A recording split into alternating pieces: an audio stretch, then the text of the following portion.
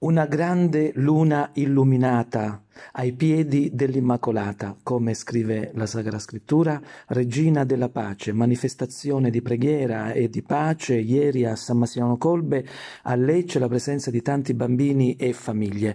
Un, un modo eh, di dire recita quando il saggio indica la luna, lo stolto guarda il dito, laddove la luna indica la ragione, la luce, la riflessione, l'amore, ad aprirsi alla meraviglia dell'inaspettato, sempre di più. Il cielo stellato rimane lo spettacolo più suggestivo e affascinante che possa presentarsi ai nostri occhi fin da bambini, perché in tutto quello splendore c'è tutta la bellezza, la grandezza di Dio che ci vede e ci ama.